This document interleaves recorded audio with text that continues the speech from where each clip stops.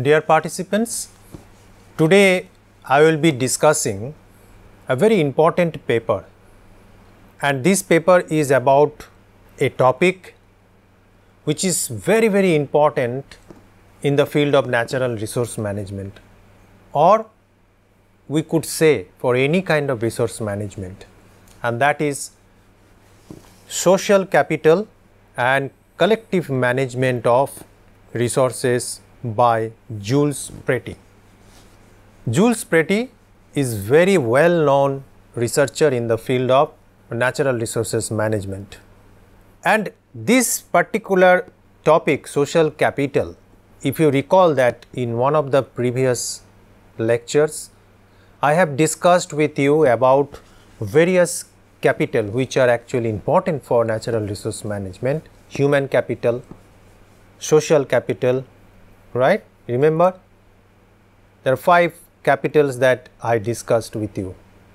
Among these the human resource capital, social capital, these two are actually you know critically important for natural resource management.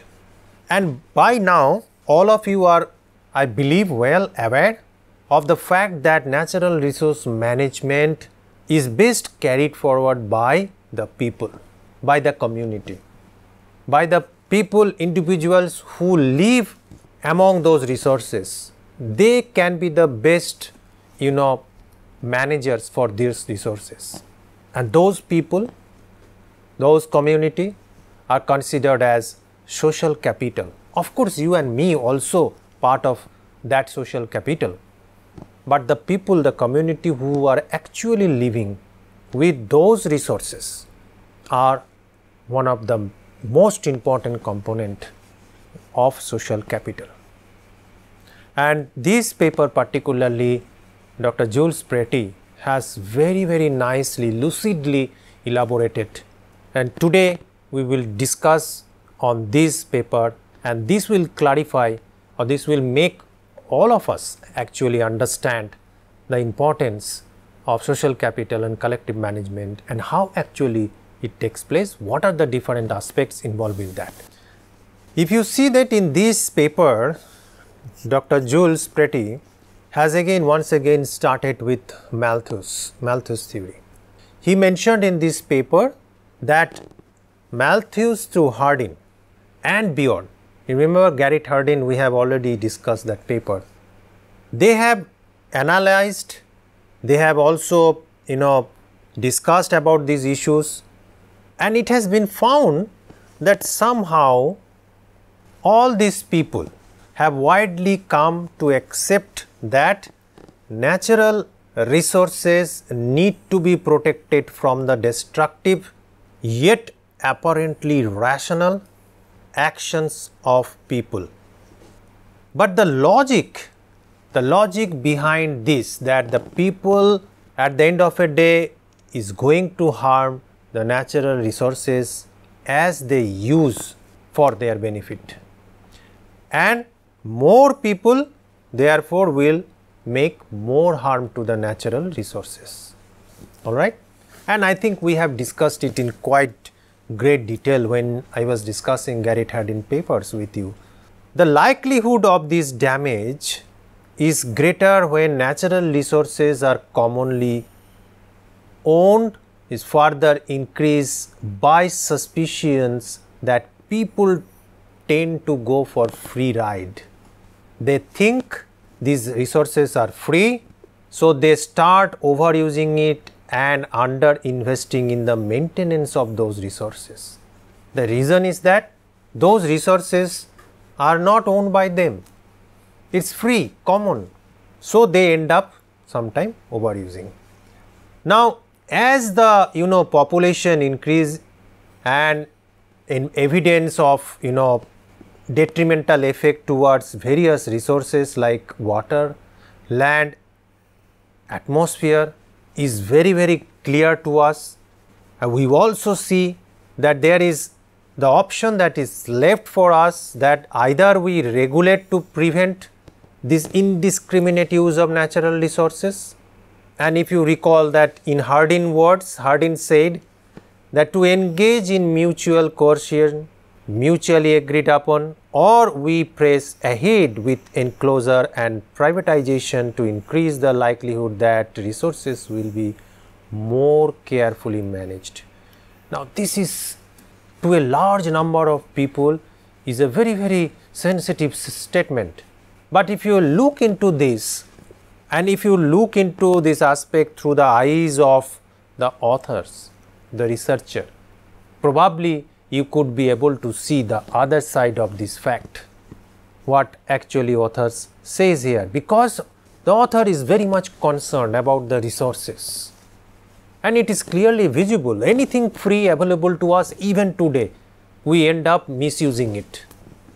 We end up over consuming anything which is free that not only harms us but also take away the resources from the system which probably another person could have used. Now, here the issue of collective management comes in. One individual, one individual organization cannot help. Each one of us has a role to play. If I overconsume because it is free, that is a human tendency. Anything, say food or clothes or anything that you provide, and if you say free, then people tends to consume it extra. Probably that extra is not required for his well being, rather, it can harm his body, health. But in doing so, what he is doing? He is taking that food which probably another person could have eaten or any other resources. All right. So, if we now look at the other aspect of this particular you know paper, you will see that that the author is actually trying to focus on social capital and collective management to avoid this great harm of over consuming, over utilizing resources, underestimating the value of the resources. So, this paper from that point of view is very important. So, in this paper uh, the author Jules Pretty actually ask an important question.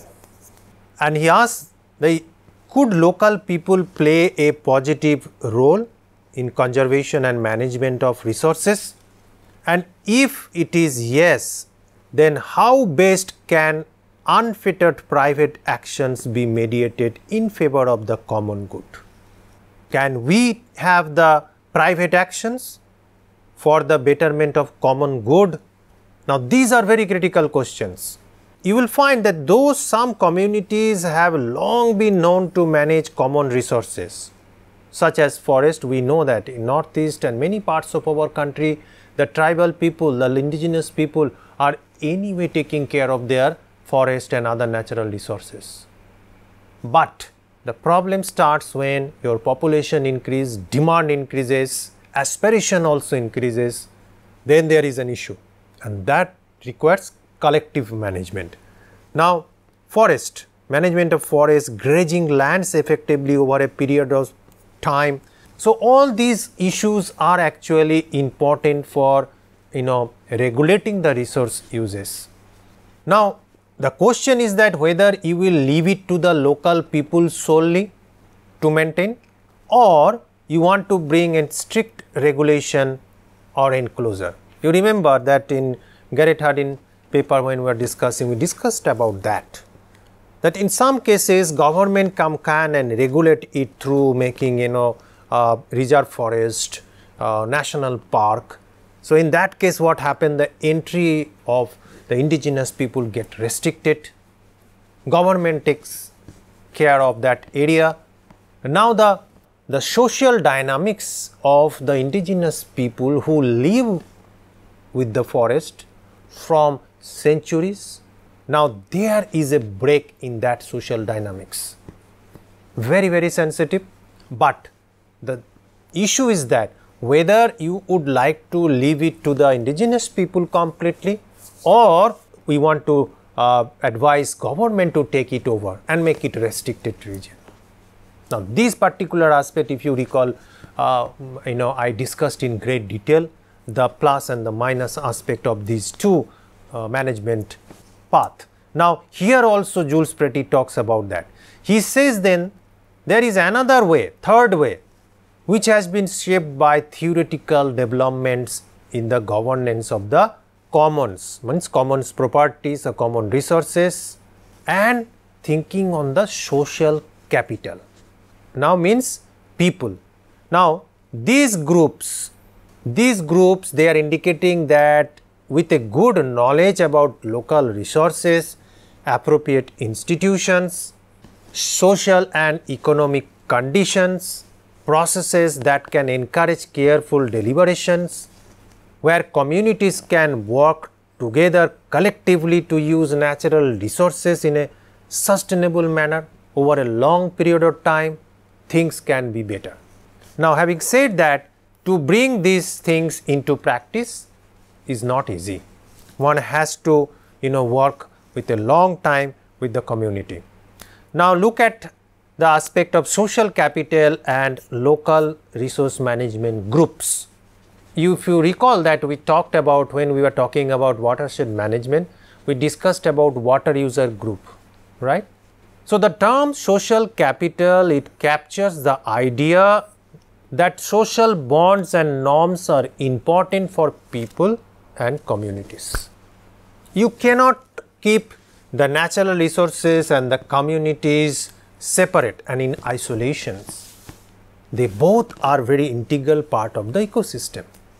If you want it happen in a sustainable manner, then this integration of people and natural resources is very very important. Now Jules Pretty says that he, that it emerged as a term after detailed analysis of the effects of social cohesion on regional incomes, civil society and life expectancy. This terminology has come into existence. Social capital as he writes here that it lowers the transaction cost of working together. It also facilitates cooperation. People have the confidence to actually invest in collective activities knowing that others will also do so. If I go, my family go for preserving natural resources in a village, I hope I go with that feeling that probably my neighbor also will do that. That's the kind of social capital that he is talking here. He believes that the entire you know community there if one person one home goes they are also you know will be attracted to do that. But he feels that this community probably may not be very keen in engaging private actions with some negative outcomes or resource degradation. Private actions could be utilization of natural resources, using those resources to develop some products or something. So, the community, local community may feel that those are not a very good option and could actually destroy the resource base. So, here four features Jules Pretty thinks are very very important relation of trust, mutual trust, norms, reciprocity and exchanges among people, common rules, norms and sanctions, connectedness in networks and groups. So, these are very very important point if you want your natural resources to be maintained in a sustainable manner. The trust, there is a deficit of trust among the indigenous people and sometimes also with government reference stakeholders. The trust among these two communities are lacking and that could be uh, one you know hurdle for sustainable natural resource management. So, the relation of trust Transaction of idea, thoughts, exchange of opinion, these are critical.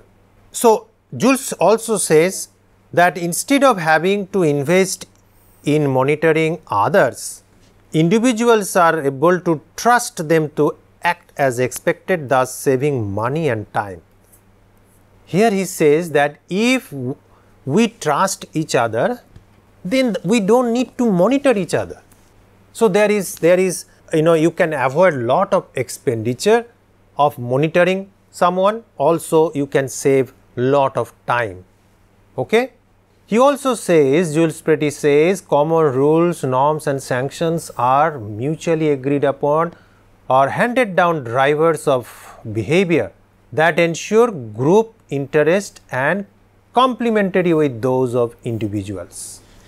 And sometimes these are called as rules of the game.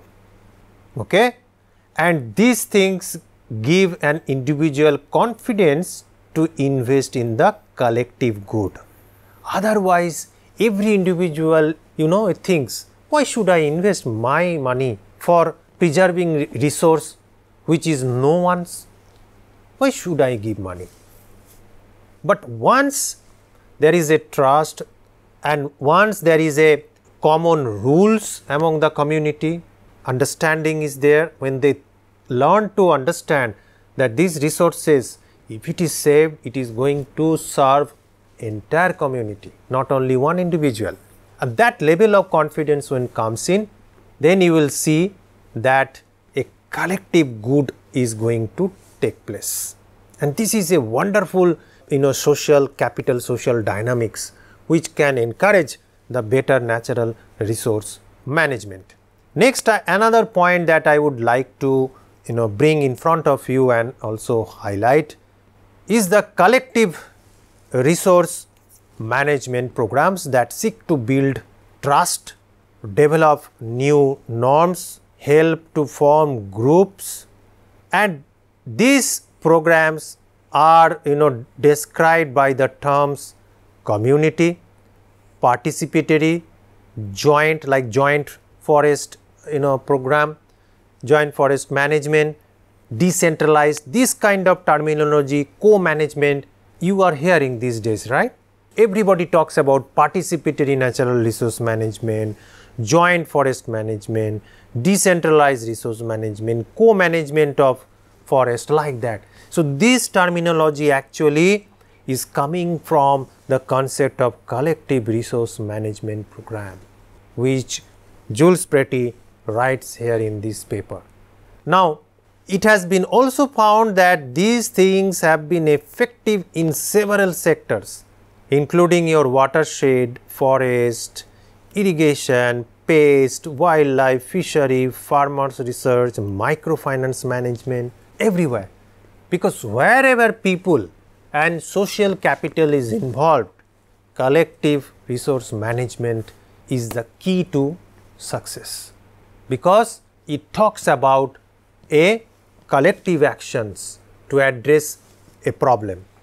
Since early 1990s, somewhere around 400,000 to 500,000 new local groups has were established in varying environmental and social context in across country that Jules was talking in this particular paper and he re reports that the majority of them continue to successful and show the inclusive characteristics so, the inclusiveness collective action is the key for successful natural resource management. That is what coming again and again from every paragraph in this particular article. So, there are positive ecological and economic outcome also has been reported here and then you find that not only you know only water, but forest, pest management, you know wildlife, fishery, almost every every field of natural resource management can be actually successfully sustainably managed provided we take care of these things social capital and collective management. So, having said that Jules Pretty also in this article brings in or forecast few challenges. Okay? What are those? The formation, the persistence and effects of new groups like I said no water resource groups suppose forest management groups. So, these groups suggest the formation persistence of these groups suggests that new configuration of social and human relation could be prerequisite for long term improvements in natural resources. Okay? So, this all actually hints towards that. Now, the regulations and the economic incentives also play a very important role in encouraging you know these changes in people behavior. They can also change their practice. Having said that jules also say that there is actually no guaranteed positive effect on personal attitudes though. He says that all these good things can happen but it is very very difficult to guarantee that somebody's some person's individual attitude can also be changed. So that he says he cannot guarantee it. Because the collective action still can be you know brought in and, and can be energized but sometimes individual attitude characteristics to modify and change is difficult so, that cannot be guaranteed. Without the changes in social norms, people often revert to old ways of their practice. Means you cut it, you use it and forget it.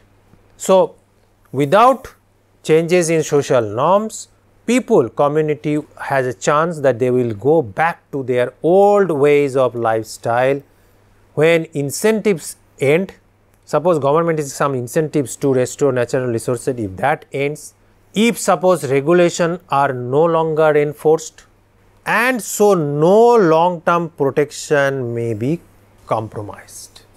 Now, what happen is that when suppose government decides that okay this strict regulation we are removing that is one and then suppose your social norms which you developed with time you are not changing modifying it as per the demand of time. What happen is that the people will tend to go back to that time when there was no regulation nothing free. All resources are free use it as much as possible. So there is a chance that they may go back. So this is critical that uh, jules pointed out here. But he says that however he says there remains a danger of appearing too optimistic about local group and their capacity to deliver economic and environmental benefits. So, he also says gives an warning that we should not be too much optimistic on the local groups because divisions within and between communities can result in environmental damage as well. And people who have worked in the community level at the ground level, grassroots level, you know it what Jules Pretty is talking about here. There could be few divisions within the community and they might because of that division they might actually create some negative effect on the resources and that is something that you know one needs to take care of. He also says not all forms of social relations are necessarily good for everyone.